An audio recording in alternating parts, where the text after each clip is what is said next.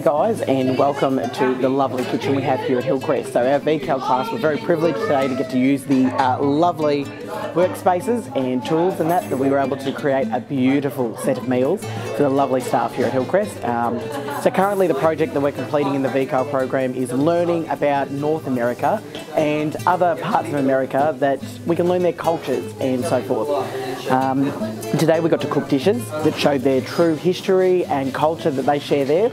Um, I find it just so enriching and it's really hands-on. Um, the VCAL program is really, really well set out and I enjoy it more than anything. Best decision I've made.